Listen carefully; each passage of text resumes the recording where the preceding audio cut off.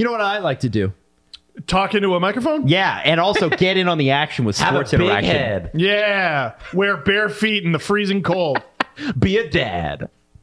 Friggin' wear V-necks that are actually crew Not a necks. V-neck, okay? Sorry. Um, sports interaction, NHL, NBA, MLB, so much more. It's the friend I don't have, clearly. Uh, crazy odds, best live and play. Download the app in Ontario. You can use the QR code at the bottom of the screen, or you can head to sportsinteraction.com slash SDPN to get started. 19 plus, please, please play responsibly and get better friends. Yell at the computer. He does that too. Four minutes left to go. Ryan O'Reilly gives away the puck at his own blue line, literally passes it to a Florida Panther, Oh, and Joseph Woll goodness. stands tall again. Producer Drew was like, "What is it about that crest?"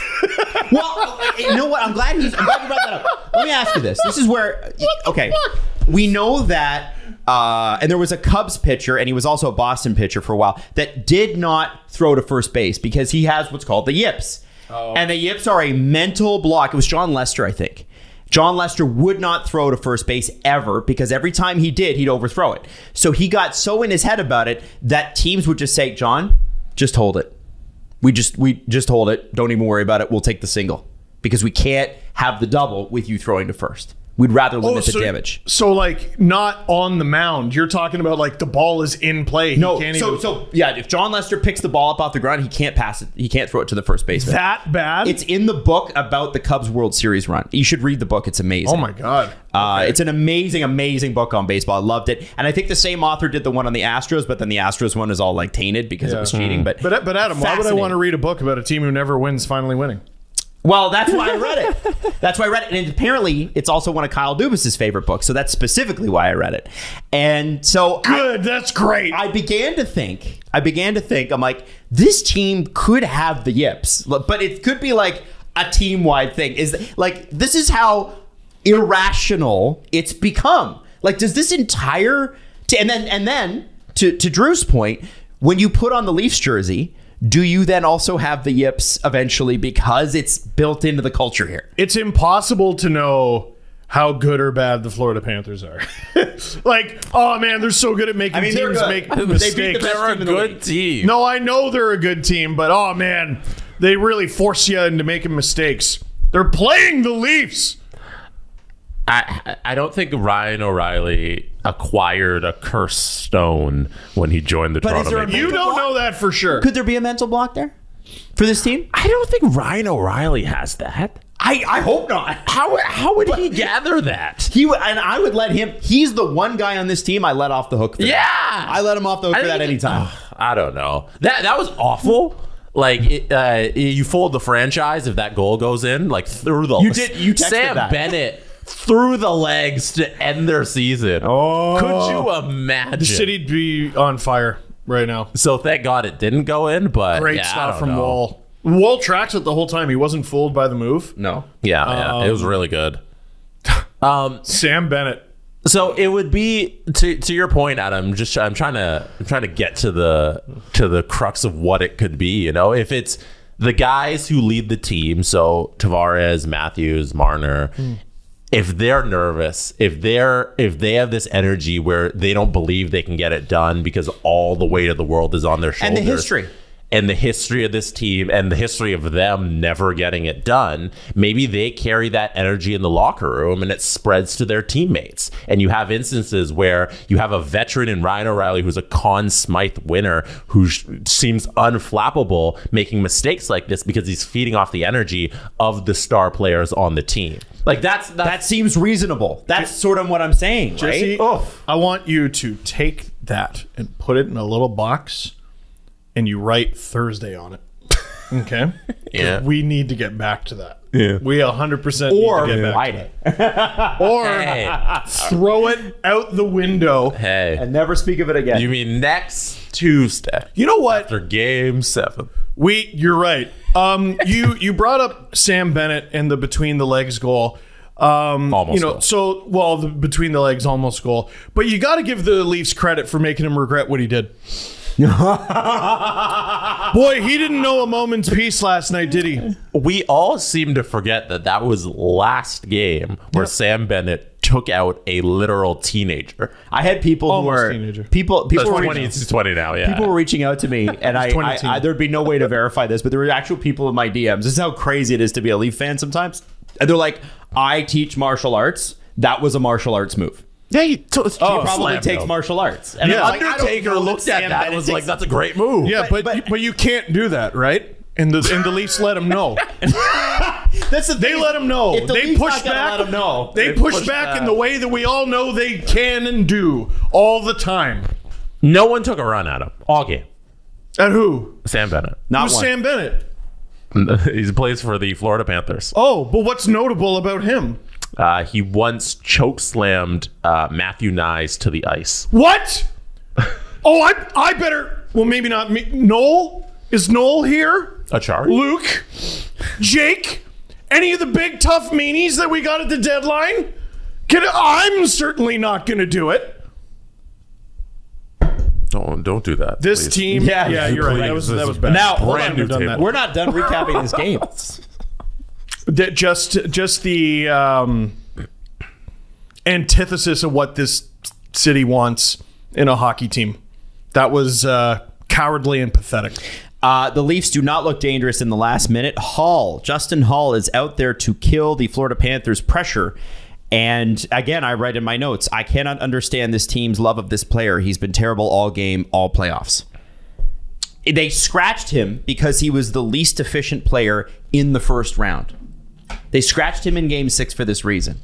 And you got Keefe after what we just showed you with the the the the the Duclair goal when he was out there paired with McCabe on the penalty kill. You got Keefe putting him out there again.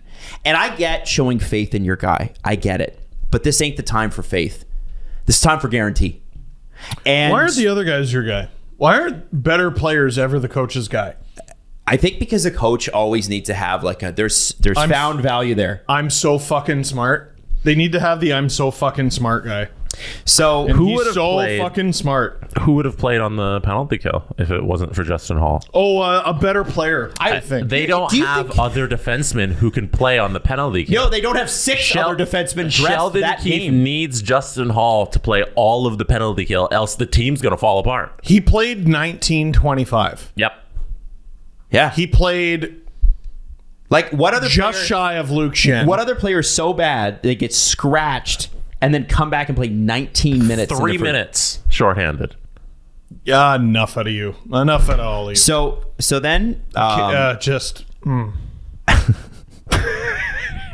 so my third. I've never had to save it.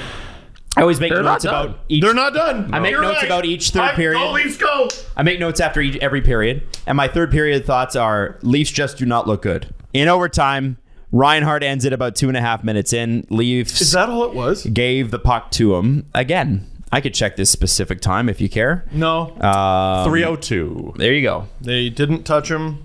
They didn't touch him.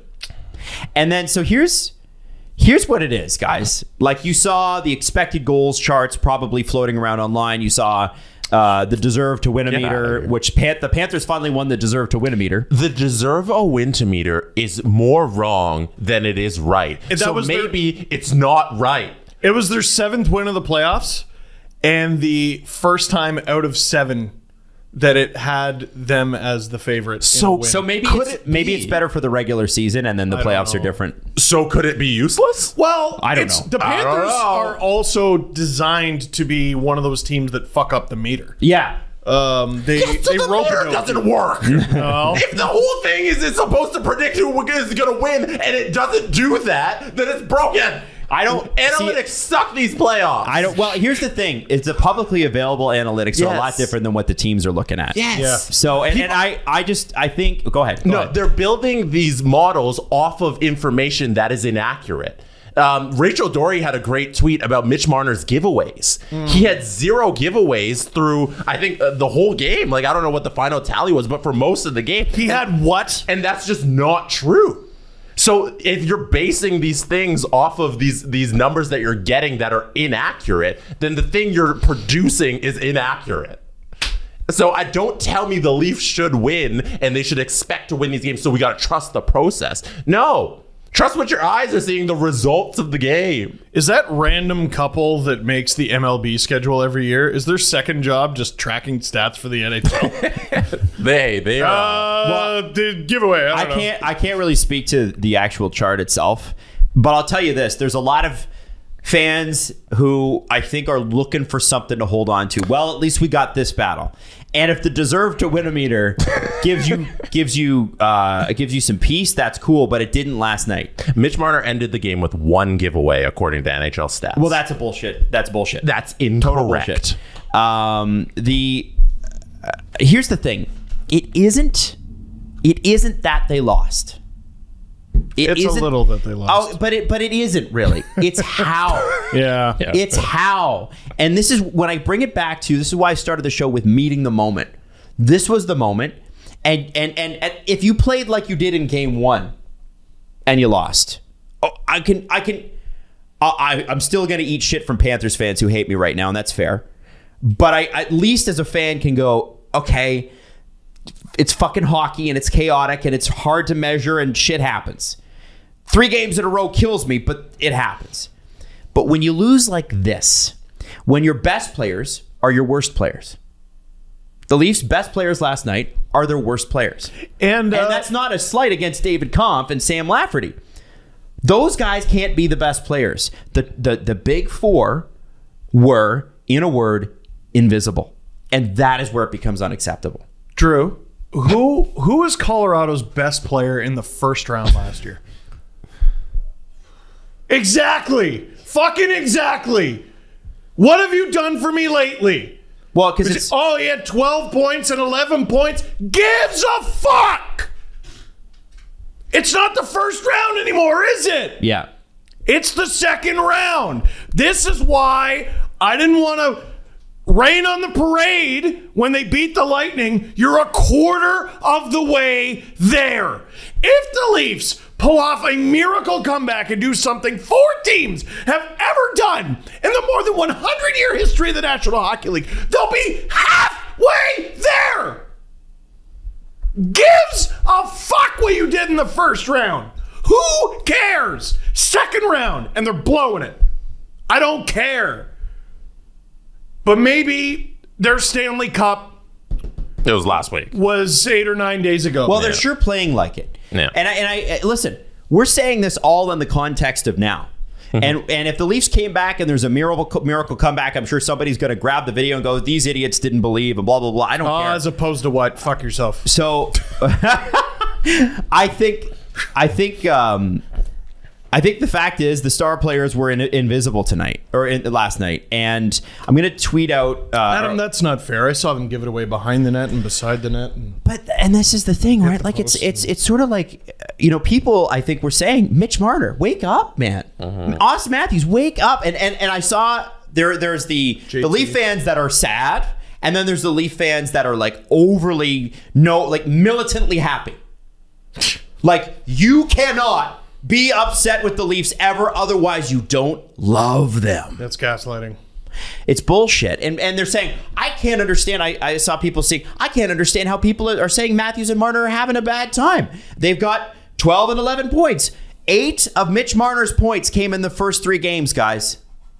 So that means he's had four and six afterwards. How many goals? I, I don't know why you could be happy with that. How many goals does Mitch Marner, John Tavares, William Nylander, and Austin Matthews have this series? Zero. And you know, That's that's correct. Well done. after last night, though, I'm hesitant to lump Nylander in there because he was taxed with being more effective mm-hmm. in game three, and he was with Kampf and healthy scratch guy. David Kampf was the best player. He was Kampf and Lafferty were good. They were generally a net positive. And where the fuck were Tavares and Järnkrok? Where And by Tavares and Järnkrok, I mean Tavares. Yeah. 'Cause, Yeah. Like, what the hell are we yelling at? Yar- Calle- Järnkrok makes two and a half Calle million for dollars. Like, what are we what are we really mad about? Yeah, no, uh, yeah. Willie did have uh, a decent game, but you go back to like uh, the first two periods was of, bad. of games two. Where was he? Game one, he was bad. He wasn't there. Yep. So I don't, Adam. You always do this thing where you you you. so- Well, you don't always do. Sometimes you ask us. You'll be like, "How do you feel?" That's what I want to know. I was I was waiting for you to get to that. I want to know how you feel, and then I'm going to read you some quotes, and then I want to know how you feel. That's what I'm going to do. So play I the game, I was Jesse. waiting Go ahead. for you to get to that moment because uh, you love asking it. It's a very good question, and it always sparks interesting answers. And I was thinking about it. I was like, okay, how did how did I feel? And after I feel I was shocked. Oh yeah, me too. I, I really did think they were going to do it. I, I'm genuinely shocked that we are at this point again. Because you look at the players they have and the resume that they've built over the last seven years of being with this franchise. Austin Matthews is a Rocket Richard Trophy winner. He is a Hart Trophy winner. Mitch Marner, if he sticks around here, is going to lead the franchise in points for the next hundred years. yes, no question. Selke is a William regular Nylander is unfazed by anything and shows up in every moment when he's dialed in. Mm-hmm. Things don't faze him. So not every John. Tavares. Yeah, not every month. John, he's a, he's an elite goal scorer, and he turned into that this year. He put up 40 goals. John Tavares is the captain and showed up last round by mm-hmm. show by scoring the OT winner to send them into the second round. and they needed a shift where I mean, the, I still love that goal so much because he had a dog ass, dog Mm-hmm. shit game mm-hmm. and just decided, you know what, I'm going to have a Hercules shift. And, And- he just And the willed moment that puck into the net. Keefe yelling him, "Go forehand, go, forehand, forehand. and he does it. Oh, my heart! And I'm shocked that three games later, those guys couldn't get it done. That's why. So when like there's a whole bunch of people are writing postmortems already. They're doing the whole blow it up thing. And it's too early. I, I look at the group of guys and I'm shocked that with everything they've done, we've reached this point where we're doing this again, where we got to get rid of them. And it's disbelief more than anything. And I don't know how to react to that disbelief. I'm just kind of shocked. and you know, oh, the Leafs are morons for not having Dubas locked up. To there's no fathomable way you bring him back. See, I, I still, I'm still in the train that they should bring him back. Well, we'll save that. Um, and I'm shocked that we're having that conversation. Yeah, Yeah, it we that should this guy not doesn't be. have a job locked up. I thought we slammed that book shut, and um, So, and and again, the reason for that is not that they've lost; it's how